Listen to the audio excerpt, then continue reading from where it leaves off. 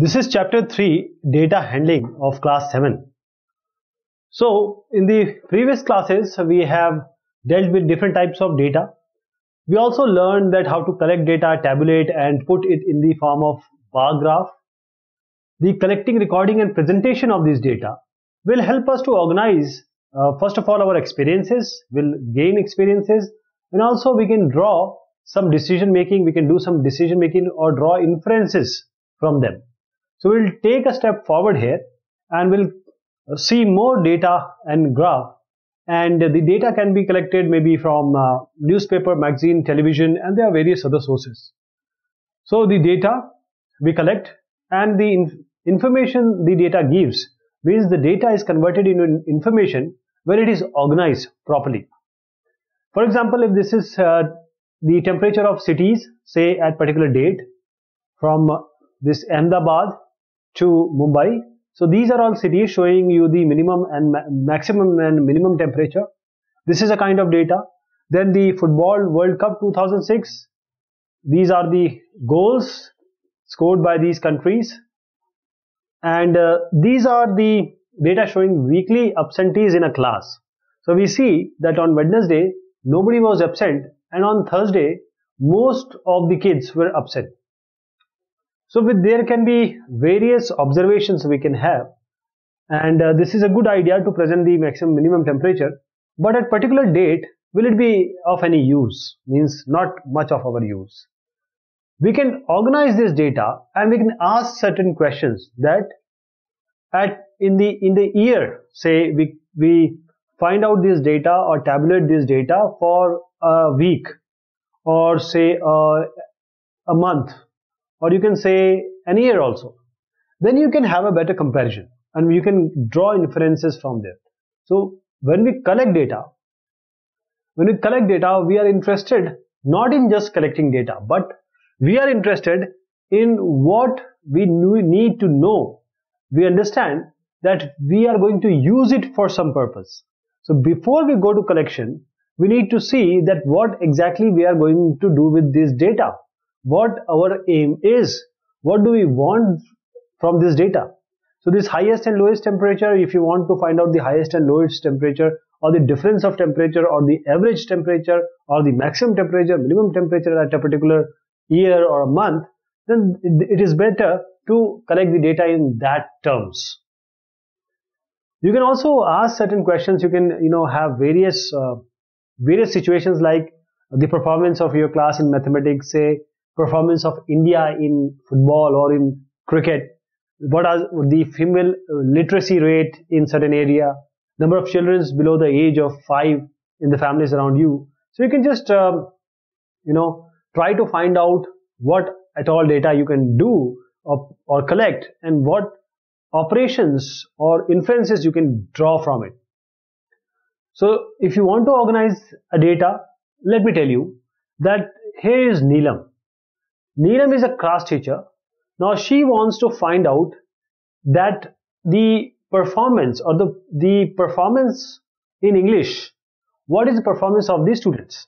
So what she does, she writes these uh, marks in this manner. So now this is okay, but she is not able to uh, well understand and draw inferences or do some decision making out of this. So what happens? She'll not be able to compare performance so wisely here or so easily. Now her colleague uh, show up and uh, her colleague says, well, why don't you tabulate it? Make the table like this, roll number, names and marks out of 50 and this is how now she is aware that Aman told roll number is 2 and he has scored 35. The better idea Deepika gave her.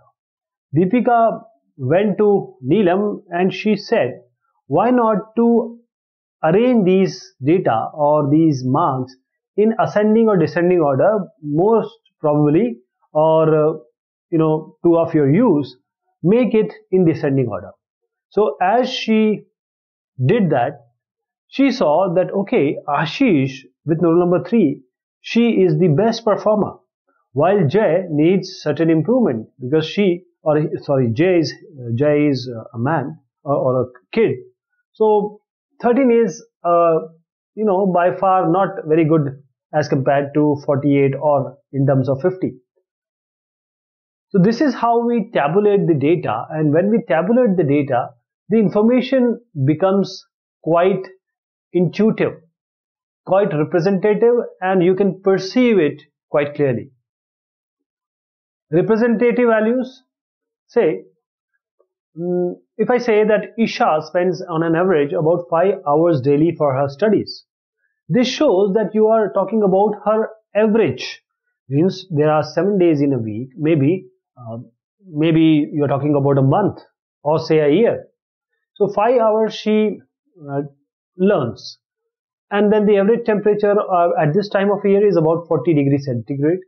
The average age of pupil in my class is 12 years or you can have one more option or understanding that the average attendance of student in a class or a school during the final examination was 98%. There are so many statements you can make but just think about this.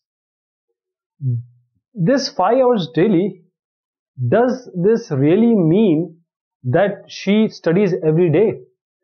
Maybe in a, in a month if you want to find out, uh, we have Diwali, say some program or some event. And on this day, she may not be able to study 5 hours. Or maybe she had some exam coming up. She will maybe reading 7 hours or 8 hours a day. So this is the average amount or average number of hours she read and this goes along with the 40 degree for day, for this day or 12 people because 12, 12 age of uh, pupil in the class is 12 years that doesn't mean each and every person of the class will have 12 years this is just a representation. You so you are trying to find out the some average value on an average. You are trying to find out or represent the central tendency. So average is representing the central tendency. And average lies between the highest value and the lowest value of the data being provided to you. So various forms of data need different forms of representation or say a central tendency or a central value to describe it. And how to describe it? One of this representative value is arithmetic mean. What is arithmetic mean? So arithmetic mean, the most common representative value, actually arithmetic mean is a representative value of a data, of a group of data is arithmetic mean or you can simply say mean. Let me give you an example. We have two vessels. One is uh, 20 liter having uh, 20 liter milk. The other is having 60 liter milk. Now, you want this, these two to share milk equally. How you are going to do that? You have to first of, of all find out that how much these contain and what will be the uh, equal parts. For that what you will do, you will add 20 with 60, this will be 80 and you want to divide it in two parts. So 2 80 by 2 that is 40 liters. So total quantity of milks, milk by the number of vessels is going to give you that each of them will contain 40 liters. So you'll take 20 liters from here and pour it in this vessel. By this way, both vessels will have equal quantity of milk.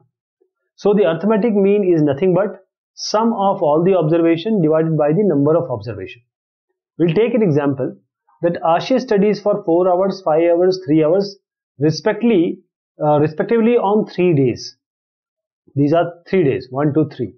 Now how many hours does he study daily on an average? So you want to represent these three values with a single value. For that, the best way is to give an average. So just add 4 with 5 with 3. So 4 plus 5 plus 3 and divide it by 3. So total number of study hours divided by the number of days for which he studied. This becomes 4 plus 5 is 9. 9 plus 3 is 12. 12 by 3 is nothing but 4. So 4 hours per day is the average study time of uh, Ashish. A batsman scored these numbers or these are the numbers he scored in six innings. When he comes back on the seventh inning, can you tell the average? Okay, he's going to average, um, is averaging this much. So he may be scoring this much. And this is a clear uh, criteria that he may be out for duck. He may score a century. This may happen. but we want to show or present the central value or some representation value of these this these all data six innings so we are going to add all these this becomes 282 how many observations are there six observations so we divide 282 by 6 so 47 is the average of a batsman being in question here. So just think about uh, these observations like um, just understand or try to think whether this mean is bigger than the observation whether a mean can be lesser than the observation. No this will not happen. Why? Because the, the mean lies between the minimum and maximum value. If you want to find out the mean what you're doing you are just adding them and divided by n numbers. So it will lie between them even if you take fractions like 1 by 4 and 1 by 2 if you add them divide by 2 you are taking the arithmetic mean of these two fractions. It comes to 3 by 8 that is that is lying between 1 1 and half and 1 by 4 if you take half and 3 by 8 add them divide by 2 it will be 7 by 16 that is again going to lie between these two. So in this way also you can compute or you can find out various numbers between two values two numbers. So if you want to find out uh, five numbers between say half and 1 by 3 you can find out half plus 1 by 3 by 2 this will be the middle value. So first take half and m half plus m by 2 and then take m plus 1 by 3 by 2 it will give you some x it will give you some y. Take x and half by 2 take x and m by 2 take y m by 2 and y 1 plus 3 by 2 see these will be the value which will lie between half and 1 by 3 so the arithmetic mean or simply mean lie between the maximum and minimum value now range range is nothing but the difference of the highest and lowest value. So you, you just have to subtract the highest value with the lowest value. This will give you the range. Let us see with an example. The age in years of 10 teachers of a school are like this. What is the age of the oldest teacher and the youngest teacher? If we observe carefully, the oldest teacher is 54 years and the youngest one is 23. So the, the ages are like this of the oldest and youngest. What is the range of age of the teacher? So you have to just take the lowest one highest one subtract 23 from 54 subtract the highest with lowest 31 is your range range of ages. And you can also find the mean you just have to add and divide it by 10 so it comes around 350 if you add these it will be 350 and divided by 10 that will be 35 years now mode mode is what mode is also showing the central tendency or it, is also a representative value. Say an example, uh, first let me tell you mode is nothing but the number of times or the highest number of times some value is appearing that value is going to be the mode of the observation. If uh, considering an example of a shopkeeper, the size of the the shirt he is selling, the number of uh, shirt being sold is like this. So if we say that we combine all these, these are the frequencies or these are the numbers, these are the observation, we add them, it becomes 105. We divide it by 1, 2, 3, 4, 5 observation. So 21 will be the mean. So do you think that 21 is the, is the actual um, way you can advise a shopkeeper to bring or, or to restock, to increase the stock, stock? 21 is the not right criteria because we see here that the size 105 is is he sells 37 shirt and the you, you know, the requirement of people is more for 105 195 rather than 8 and 6 so there is no point in in uh, going and restocking 90 and 1110 so this highest value gives you the mode. Okay? This so he is going to do what? He is going to go for the for those shirt which are being sold uh, immensely. Or the people they require this. They they they require the customer require that. They they are needing those shirts. Uh, let us take one more example. That the owner of the ready-made dress shop says the most popular size of dress I shall uh, I sell is size 90 so 90 is what he is selling the 90 size so much that he, it overpowers the other values so 90 is nothing but the mode of the data. So mode of this of a set of observation is the observation that occur most often or the number of time it occurs is higher, the frequency is higher. If we have this uh, these members, then we have to find the mode. The best way is to arrange them as in ascending or descending order. So when you arrange, see, this 1 is coming 3 times, this 2 is coming 3 times, 4 times, sorry. This 3 is coming 1 time and 4 is coming 2 times. Which is the highest? 4. So the mode of this observation is 4. Mode of a large data. So normally what uh, you will encounter is that the numbers of the observation will be very large. So if you are doing by copy pen, the best way is that you can count it using some form. So what we are going to do here is whenever a number occurs, we'll place a bar. Okay. Then what we'll do, the next time it comes, we'll do this. Third time it comes, fourth time this comes, and when it comes fifth time, we'll cross it. So this represent that a 5 value. So that number has come 5 times. In this case, this is 5 and this is 4. So this 1 has come 9 times. Let us understand. 1, it's 1, 2, 3, 4, 5. So 5 is here. Then 6, 7, 8 and 9. So these are 4 bars. So total 9 times. 1 has come 9 times. Again, we have to find the uh, mode of this data. We go to 2. 2, 1, 2, 3, 4, 5. We make this. Then 5, 6, 7, 8, 9 and 10. Then again 5 and then again you see that it comes 2 or 3 or 4 times more. So that is 14. Similarly for 3, similarly for other numbers. So what we have done here is like this. These number of bars and we just cut when it becomes 5. And we see here that 2 is coming the maximum time 14 so 14 is the mode of this data you can do it for yourself these are some examples then we have to find the mode of these numbers and one more question we need to ask can a set of numbers have more than one mode these are already arranged so we see 2 occurs 3 times 3 occur 2 times 4 occur 1 time 5 occur 3 times 6 occur 2 times, 8 occur 1 time. So this 2 and 5, they are occurring 3 3 times. Now this particular observation will have is multimodal. It is having two modes. So there can be more than one mode. Here in this case, 2 and 5, they are the modes of the data.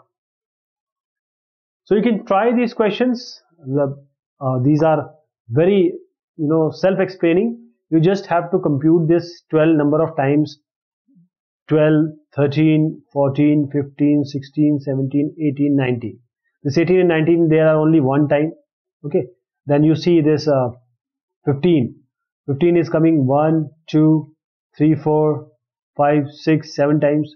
And if you go to 14 see 1 2 3 then uh, 4 times. If you find out this 13 so you can just you know take the numbers and whichever is the highest. If you take 15 1 2 3 4 5 6 7 8 so it is showing a higher number. So you can just compute it and say whichever is higher the mode will be that value. Okay. Now there are various things which we need to understand.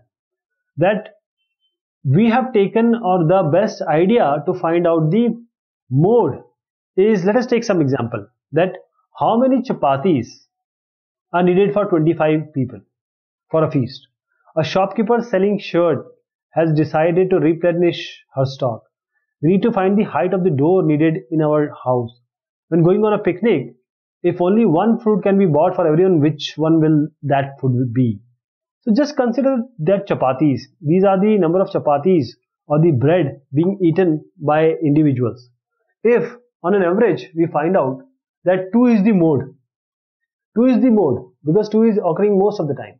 So if we multiply 50 with 2 will bring only how many? This no 25 people. So 25 into 2 will bring only 50 chapatis and that is not going to suffice. That will not be sufficient.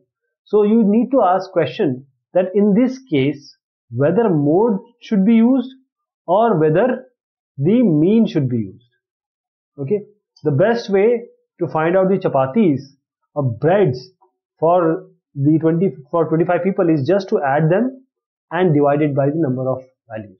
Similar goes for these three. If we add the height of these three, then it, the, on an average you will you can make a you can make a door. But how about the highest person, longest person you can say in height? So he will not be able to enter, that he will not be comfortable. So here mean is the best idea. So this situation actually says that what you have to use either mean or mode. Then median. What is the median? Median is in between. Means if you find out the arithmetic mean, it will tell you the central tendency. In certain situation, you will use the mode which is showing the maximum time a number or the observation has happened or the highest frequency value is the mode. Arithmetic mean you add every item and divide it by the, by the number of items.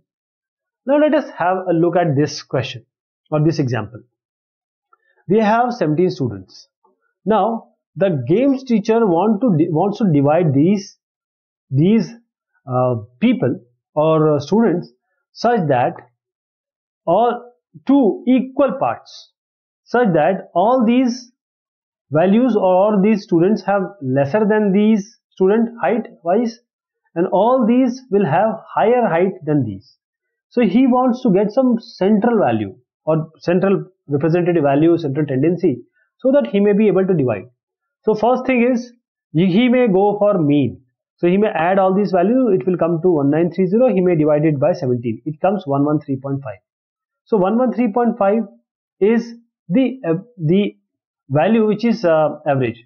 But we see that if we compare 7 of them and 11 of them, this, uh, this 10 of them, 7 of them will have lesser, this 7 and 10 will be the partition. Means 7 will have less height than this 113.5 10 will have higher. So now we are not able to divide them equally. So the teacher has to go for some other option. The second option is to find the mode. When we find out the mode he found out that 115 is the mode of this data because 115 is occurring most of the time again 7 mode are so 7 children are below this mode and 10 children are above this mode again he will not be able to divide them in equal parts so the so the other option is to go for something called as median. What he may do is he may arrange this data in ascending order. Now how many data is this or how many values are there? 17.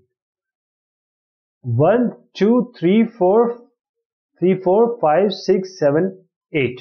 Right? Take this value. Here also 8. This 115 is the central value he may take so that 8 lies here, 8 lies here. So now he has divided somewhat this uh, these uh, students in equal parts. Okay, he may make it this guy as a monitor and observer, but here we have found a central value and this value is nothing but the median. This 115 is nothing nothing but the median because median is dividing the the individuals or height of the individuals in two equal parts. So it is middle of the data. So what we have done here is we have arranged the data in the ascending order. We have taken the middle value and and the middle value is the median.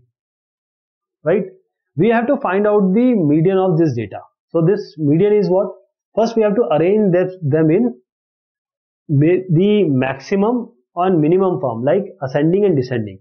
So let us arrange this in the ascending order.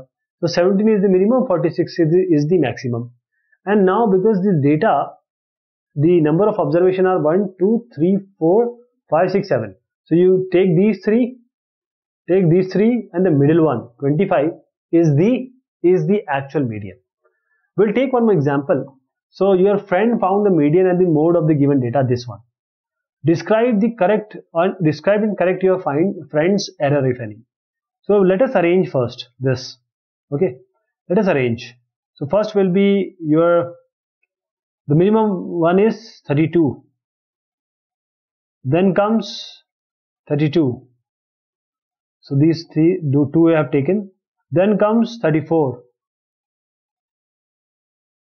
Then comes 35. 35. So 35, 35, done. Now comes 38. Now comes 42.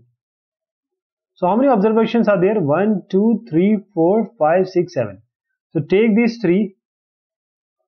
Take these 3. This middle one is 35. So the median is not 42 but, but 35. And mode is what? How many times this uh, 32 is occurring?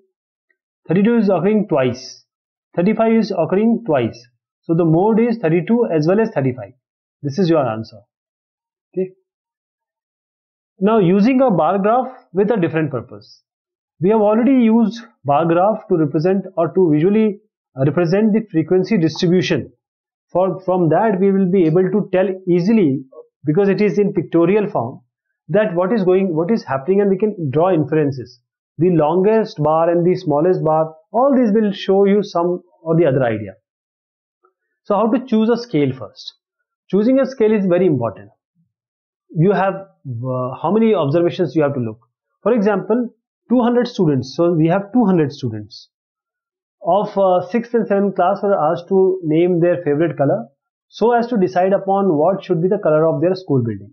The result is like this and this has to be represented in the bar graph. So what we are going to do here is, this is our graph. So what we'll do here is, the lowest is uh, 19, the highest is 55. So we'll take the left, the favorite color, the number of students, sorry. 0 to say 60 we take and 10, 10, 10 partition will give. So 0 to 10 will be our scale, will be 1 unit. And here we can show this by graph. This 43, so we'll go up to 43. And then green, again 19, very small. Highest one will be blue. So we'll show it. This is the actual representation. So we have, this is the 0 to 60, 10 part, by 10 that is 10 students we are taken as one unit and this is the red green blue yellow and orange with respect to this students number of students so which is the most preferred color of course the highest building is the blue and the least preferred is green and how many colors are there in all one two three four five five colors are there okay so this is how you represent a graph or a bar graph and you can draw conclusions the answers. Now we have example one more that Ajay, Bali, Dipti, Fayaz, Gitika, Hari they have some certain marks. They are, they are out of 600. So uh, represent the data on the bar charts. It's quite easy. Take 0 to 600. Why? Because uh, the marks are out of 600, the highest is uh, 540. So 0 to 600, take 100. 0 to 100 means 100 marks as 1 unit and here you can just represent Ajay, Ajay Bali like this in terms of the bar. So how we are going to represent it like this. These are the marks out of 600, one unit will be 100 marks. These are students. So the highest marks Hari has scored, the lowest marks Deepika has scored. When you make one graph and when you or one bar graph and we, when you want to compare two different aspects or two uh, you know similar aspects so when you're comparing similar or different aspects also what you can do is you can represent those bars together of two different observations like this is these are the sunshine. Daily average daily hours of sunshine in two cities margaret and aberdeen. If uh, we take them individually we will not be able to compare them so closely. The best way is, is to represent this with a one one say bar graph this and second with this together. So when we draw here see how we are going to do this this is January February March April and this is the hours of sunshine 0 to 8 we'll draw or make the legend this shaded one shows the Aberdeen Margaret is by non-shaded one so the January hours of Margaret will can represent like this and the Aberdeen Aberdeen time is like this of sunshine. So now we see that we can compare. We can compare them easily. We can compare or if you are not, if you don't want to compare the double, you can compare the single also. Highest uh, of the Margaret is this in June. The lowest is here in December. Uh, for Aberdeen, the highest goes here. the lowest is again here and you can compare them individually also or in group or in um, close proximity also then a mathematics teacher want to see because she has applied some certain new technique she she has she will review uh, quarterly test whether it is effective or not. So what she'll do she'll take five students which are weaker students means moderate study they do out of 25 and these quarterly and half yearly marks she want to compare. How she is going to compare? We'll make an this double bar, bar graph. One one for the quarterly one for the half yearly so the marks are from 0 to 25 and this shows this um, shaded portion shows half yearly non-shaded portion show quarterly now you can compare. You can see that Ashish from quarterly to half yearly the marks increase. Similarly for this similarly for this. So now what technique she has applied is actually working. So these are certain examples you may try. We come to chance and probability chance and probability means let us take a chance is basically uh, this word or these things we generally come up with in daily in our life. Uh, let us take certain uh, statement first then we'll understand. Sun coming up from the west this is not going to happen. This is impossible. An ant growing to 3 meter height not happening.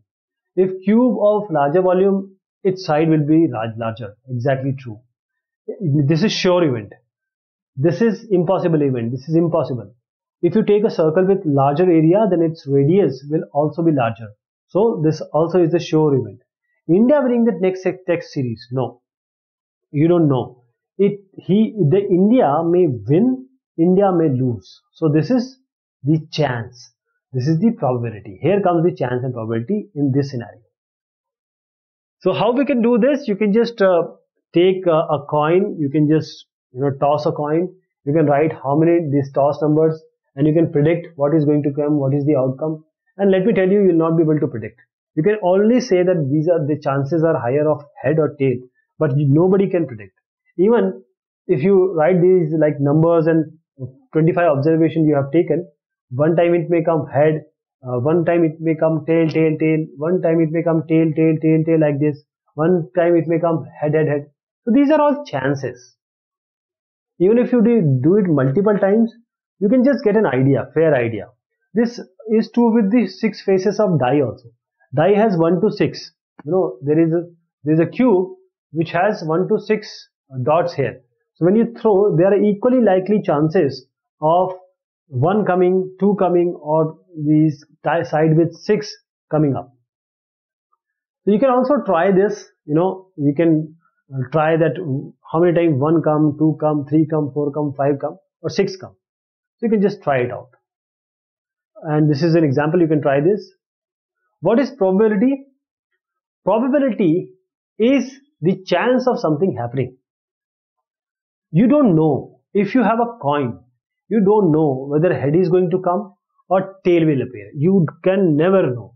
If this is a fair, fair coin, you can never know if you have a die or dice if you throw you don't know whether one will come up the face the upper face will one will be one two three four five or six. You can never know. These are all but you can uh, mathematically you can say the probability of this coming is this. The probability of no, this not coming is this right?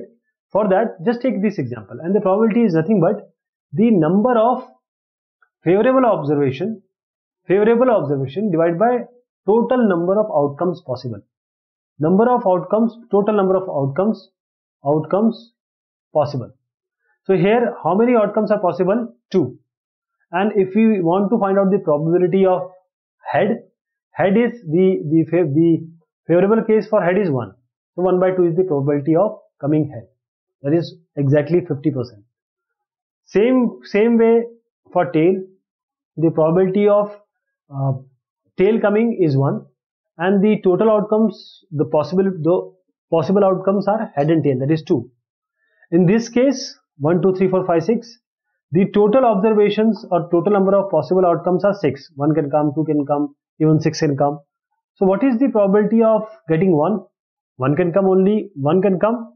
So the, the favorable case for 1 is 1.